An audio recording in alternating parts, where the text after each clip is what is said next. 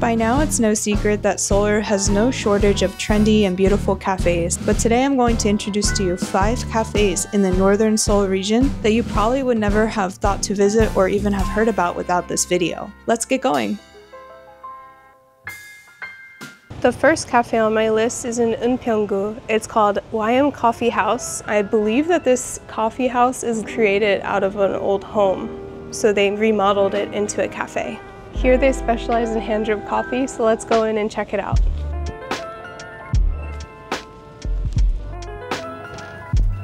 Coffee Project has been around for nine years, which is really impressive for Korean cafes, which tend to open and close crazy fast. Because it is a specialty in hand drip, it does take a while, so this is the kind of cafe you come to to relax and watch the process. And the coffee is really high grade, so you can choose your bean and also how strong you would like it to be. I chose strong, it's still very smooth. It did take about 25 minutes for it to come out, so like I said, plan to come here early. They open at 11:30 because it does fill up quite fast. And I know at this location they do offer a brewing class. When we leave the coffee shop, there's a few more stops we're gonna make to kind of show the Eunpyeonggu vibe. So when you come here, make sure you definitely stop for a coffee first.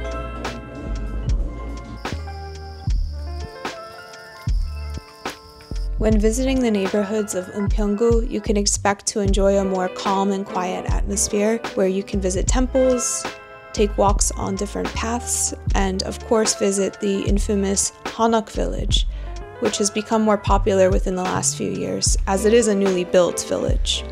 It is a residential zone, so please be aware of that and be respectful. But it's very welcome to tourists. There's even a CU and a Twosome Place, as well as other shops, cafes, and vendors around. And so many people like to come and take pictures among the mountains and the beautiful homes. Today we are in Dobong-gu. So we're at Dobong Station walking to our next cafe. This cafe is actually in between Dobong Station and Dobong-san Station. We usually go to Dobong-san Station to go hiking in the Bukhansan National Park, but it's super beautiful over here. We can keep getting shots of the mountain. The cafe we're visiting today is called Yuyeong Jeongwon. I think they opened in 2023. It's a cafe that opens by 8 a.m., which is really rare in Korea unless it's a chain cafe. The baker goes in at 5 a.m. I'm really excited to try the cronut. They also offer things like pecan pie and salt bread, so we'll have a look at what they got today. Unfortunately, the cronut seems to already be sold out for today. Looks really good though. I ordered the vanilla bean latte and Sunghun got the mugwort latte and he really likes his and I like my drink. This cafe is really spacious on the inside and it's got this very like woodsy, relaxing interior. I always appreciate a cafe that mixes different kinds of chairs and tables. If you're somebody who is going to be traveling long term in Korea, or maybe you're just more relaxed, easygoing kind of vibe person, then definitely check out northern parts of Seoul because it's just gonna be way quieter. You can actually sit down and enjoy your coffee.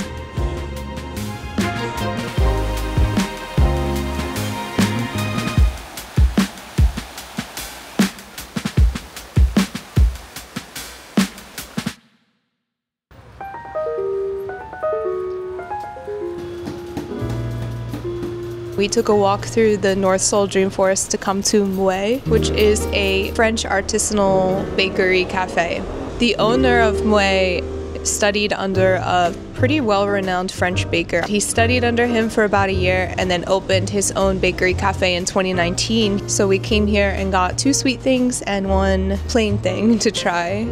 Every day is different, so what we got today might not be available tomorrow. We got like an apricot pastry, a chocolate, and it's just a plain croissant, and everything was delicious. I also got a flat white. I usually get the iced peach Americano on a hot day, but it's really sweet. So since we got two sweet pastries, I opted for something a little more bitter. Their drink menu is very extensive, so if you're not a coffee drinker, there are other options. We did get three baked goods and one drink, and it ended up costing 25,000 won, which I believe is about 19 or 20 USD. So it is quite pricey, like for the quality and for just how beautiful and how much effort goes into these pastries. I think it's well worth the price. we just don't come here very often because it is expensive. So we come here maybe once a month. They take a lot of pride in the ingredients that they use. They mention specifically that the ingredients they use are very natural and there's no additives, so it's safe for babies too. They specifically mention babies, so I think that they are like really family oriented people. It's also a dog friendly cafe, so you can come out and sit outside with your dog or go to the third floor. Second floor is not dog friendly. The interior is a bit eclectic, different colors, different types of seating. It's cute but I would say it's not the most comfortable seating. We like to go to the third floor and look outside. The view is super cute of the surrounding neighborhood, and I recommend just walking over to the forest and enjoying it over there. There's been many times where I've been in one of the more touristy areas and I've come across a really cute bakery that puts a lot of effort into its signage and displaying its products. And then I buy it and I'm like, why is this one sweet when it should be savory? Or why is this one savory when it should be sweet? It's just very confusing. It's not great quality. So I really love bakeries such as Muet that really focus on the quality over quantity. They're focusing on select flavors for each day and they're putting a lot of time and effort into those rather than just mass producing 50 different products to make it look cute. The bakers will put their diplomas up to say where they learned from. So if you're looking for some really good bakery in Seoul, just keep an eye out for that.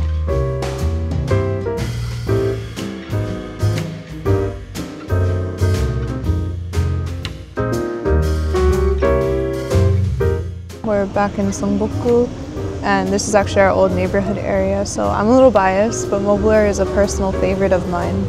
The owner is super kind, and back when I moved here in 2019, Mobler was already here. It's been around for a good while. The coffee that he brews is very light, so I like to get the drip coffee or just an iced Americano usually, because he also has financier. Is that how you pronounce it? Financier. Financier. financier? Financier. I'm just going to be American about it. I have no idea how to pronounce it, but he bakes in-house financiers of different flavors.